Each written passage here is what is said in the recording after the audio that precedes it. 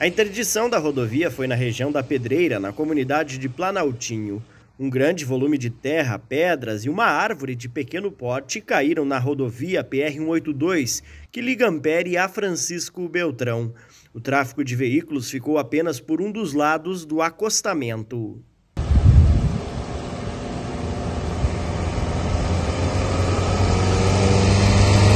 Ainda durante a manhã desta sexta-feira, o DR, o Departamento de Estradas de Rodagem, enviou uma máquina para a remoção dos materiais.